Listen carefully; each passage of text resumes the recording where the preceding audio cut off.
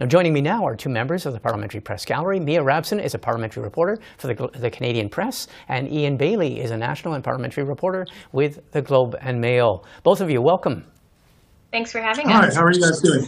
Yeah. Good, good. Now, listen, let's start. Uh, I have to say, earlier in the show, I spoke to two conservative observers, both of whom felt that watching last night's debate, uh, they don't feel that Pierre Poilievre, the uh, purported frontrunner, did himself any favors, that he was a bit too aggressive, not prime ministerial enough, et cetera, et cetera.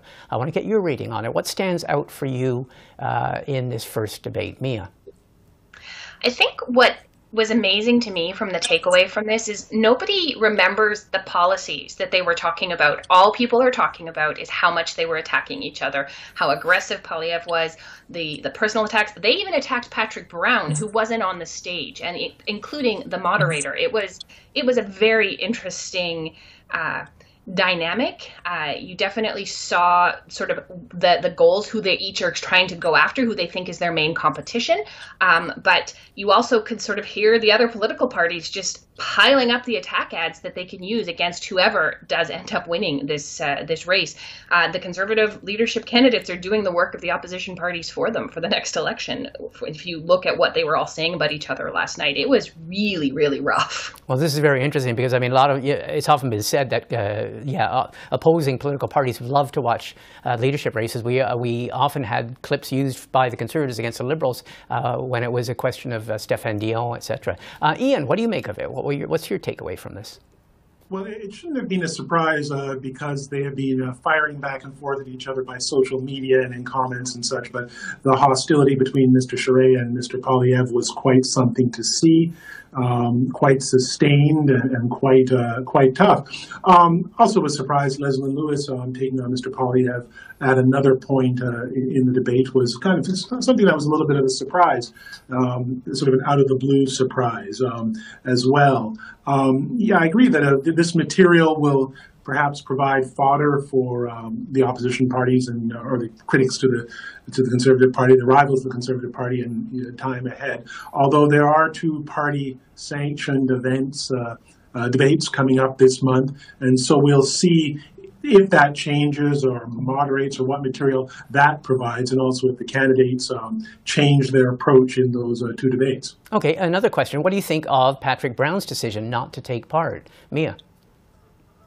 Well, given what happened last night, maybe it was a good idea because, I mean, he got attacked anyway, but uh, I mean, someone I think described it a little bit as if you know Twitter come to life because, as you mentioned, these are the attacks that have happened on Twitter, which can be quite nasty. Uh, maybe it was better for him to stay out of the fray. Uh, it's uh, interesting that he also didn't think that he needed to be there. Whether the audience for this particular debate isn't who he was going after, um, you know, it's not unheard of for candidates not to be at debates. Uh, Justin Trudeau, of course, skipped a debate during the general election in 2019.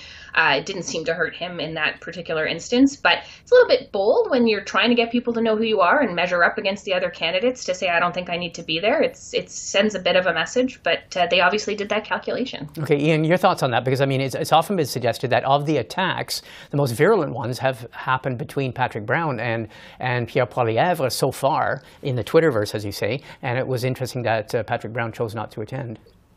It would have been an interesting debate to have Mr. Brown there. He's an experienced politician, and um, it would have been interesting to see how he would have uh, sort of uh, how the the, the the, back and forth of attacks would have been affected by him being on the stage and, and getting into it. I also assume it would have given him a chance to sort of uh, find his way, find his place among these folks ahead of the uh, party sanctioned debates later this month. Um, Preston Manning was talking earlier today at the uh, at uh, this conference that hosted this debate and sort of talked about how the candidates, you know, were feeling their way in this uh, this debate um, in a way that will be helpful to them in the future. That kind of experience might have been helpful for Mr. Brown, but but it, it does seem a bit odd that he chose not to attend. Although, as Mia said, that's not unprecedented mm-hmm. in these kinds of uh, matters. And, and, and as you mentioned, there are debates to come. In, in fact, starting with the official first official debate uh, next Wednesday. Look, I want to change subjects to the other big subject that came into Canadian politics. It was propelled into Canadian politics because of what's happening in the United States, and that is this leaked draft from the U.S. Supreme Court court, suggesting that that court may be ready to strike down abortion rights in the U.S. First question, our systems are very different. Our situations are different.